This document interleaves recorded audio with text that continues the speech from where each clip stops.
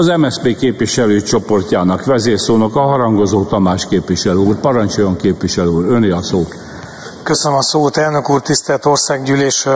Miről is szól az az uniós javaslat, amiről ma itt vitatkozunk, és amivel szemben a kormánypártok az úgynevezett sárgalapos eljárást kezdeményezik. Nagyon röviden arról szól, hogy unión kívüli harmadik országok, harmadik országok nevében végzett lobby tevékenység érdekérvényesítés, hogy jobban mindenki értse itt a teremben is, a kormány által idegen hatalmak kiszolgálóinak a tevékenységét valamilyen módon az Unió szabályozza.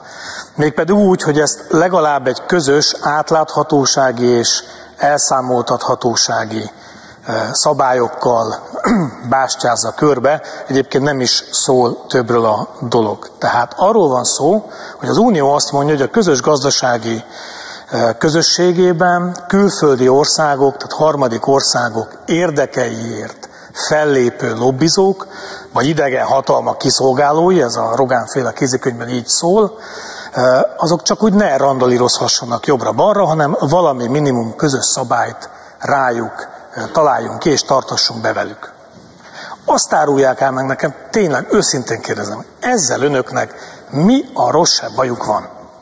Mit kell konkrétan megtenniük? Regisztrálniuk kell az átláthatósági nyilvántartásban, hogy ők bizony idegen országok nevében itt az Európai Unión belül, akár hazánkon belül is, más országok érdekeiben lépnek föl és lobbiznak. Mi ezzel a Fidesz baja?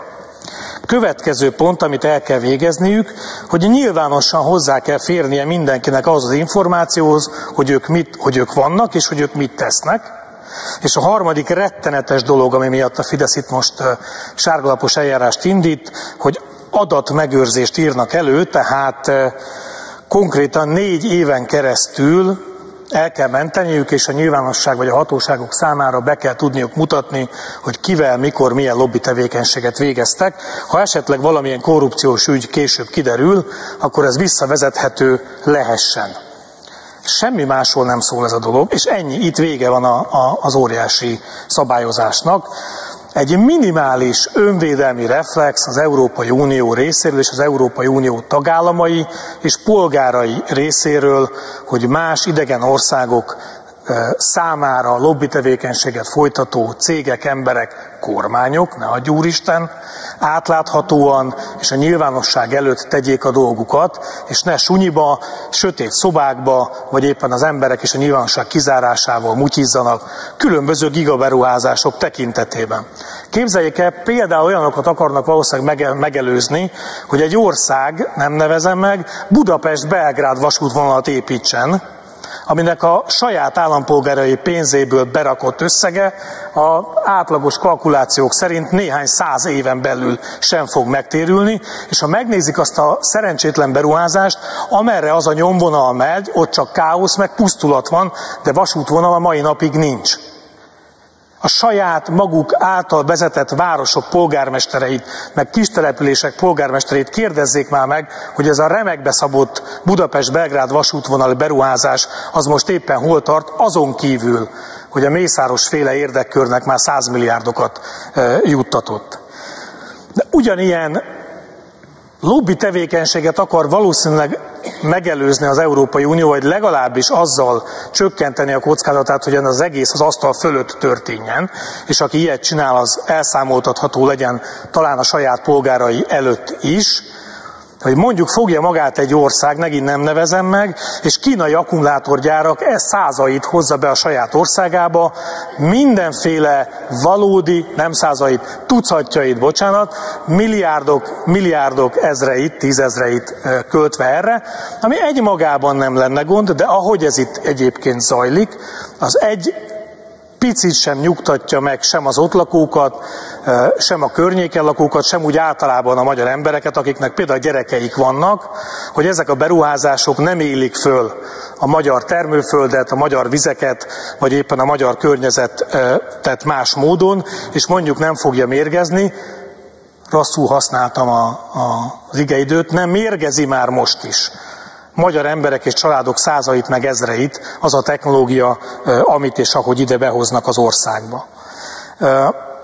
Nyilvánvalóan a szabályozás célja csak az, és nincs is más különösebb szankció, hogy ezeket a tevékenységeket ha uniós országon kívüli cégek vagy kormányok érdekében valaki végzi, az legyen nyilvános. Tényleg kérdezem önöktől, mi ezzel a baj?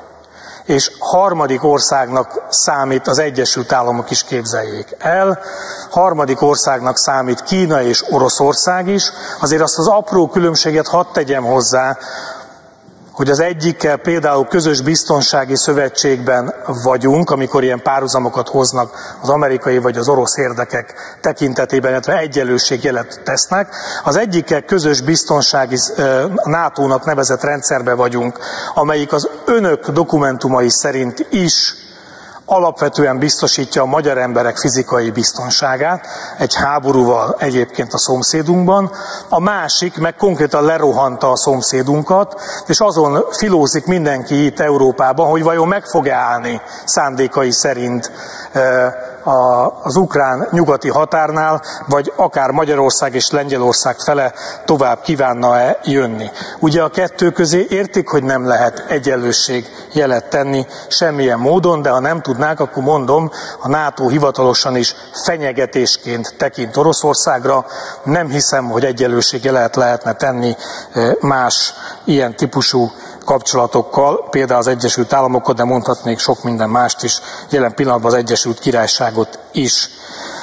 Tisztelt képviselőtársaim, a kínai érdekek érvényesítése gazdaságilag rövid távon biztos, hogy hozhat hasznot, ha normálisan, okosan csinálják, akár hosszú távon is. De szintén szeretném önöknek mondani, hogy akár biztonsági szempontból maga a NATO is Kínát kockázatosként tekinti, kihívásként értékeli, nem ellenségként, nem ellenfélként, de kihívásként, és talán közpolitikával foglalkozó emberként, Trump elnök úr óriási rajongóiként. Van némi fogalmuk arról, hogy például az önök által nagyon támogatott, meg a miniszterelnök által a világ legjobb emberének titulált Trump elnök adminisztrációja alatt mit csinált a kínai viszonylatban, és milyen kockázatként tekintett rá, illetve hogy mire készülhet a jövőben, hogyha újra elnökké választják. Szóval van tétje ennek a dolognak, és azt gondoljuk mi is, hogy egy ilyen szabályozás, ami semmi más nem mond, mint hogy aki ezt a tevékenységet végzi, tehát külföldi ország érdekeiben, itt Európai Unión belül gazdasági lobby tevékenységet végez, az legyen kedves kijönni a napra, regisztrálni magát, és négy évig visszamenőleg bemutatni azt, hogyha baj van, hogy ő ebben az ügyben mit, cse, mit művelt és mit nem művelt. Eh, abszolút támogatható, mi egyet nem értünk tényleg, hogy vajon mi, zajló, mi zajlik Magyarországon, hogyha ezek az igen enyhe szabályok is ilyen rettegést eh, okoznak a Fidesz eh, padsoraiba, hogyha esetlegesen ilyen tevékenység történik, az kerüljön napvilágra. Végezetül államtitkár úrra is szeretnék reagálni, ebbe a törvényjavaslatban tényleg csak politikai okokból lehet belekeverni a magyar szuverenitás védelmi hatóságot. Már aztán semmi köze a kettőnek egymáshoz valóban. De azért azt szeretném megjegyezni, tisztelt államtitkár úr, képviselőtársaim, hogyha nem lenne világos, hogy a magyar szuverenitás védelmi hatóság mire, mire jött létre, meg mire nem, meg mi köze a harmadik országok kiszolgálásának megakadályozásához, meg mire nem, vezetője még kinevezése előtt nagyon fontosnak tartotta újságírói kérdésre megjegyezni, hogy a szuv- magyar szuverenitásvédelmi hatóság kínai, vagy orosz, vagy egyébként a biztonsági rendszerünk szempontjából kockázatnak vagy fenyegetésnek titulált országok magyarországi beavatkozásaival nem kíván és nem is fog foglalkozni. Hát külön gratulálok, ez aztán tényleg a magyar szuverenitás védelmének fantasztikus kivitelezése, de nem is kell ezen szerintem többet rugózni, mert pontosan tudjuk, hogy az a hatóság miért jött létre, ki a vezetője és mi a küldetése. Csak azért nézek államtitkár úrra, és azért mondtam el ezt önnek is államtitkár úr, mert a NATO parlamenti közülésben dolgoztunk együtt. Szerintem ebben a tekintetben azon kivételes nemzetközi szervezetek egyike, ahol a magyar érdek, ellenzék és kormánypárt között nem tud eltérni egymástól, tehát tényleg együtt dolgoztunk, és pontosan tudja államtitkár úr is, mint a delegáció volt vezetője, hogy amiket elmondtam, azok úgy vannak. Köszönöm szépen, hogy meghallgattak. Köszönöm szépen, képviselő úr.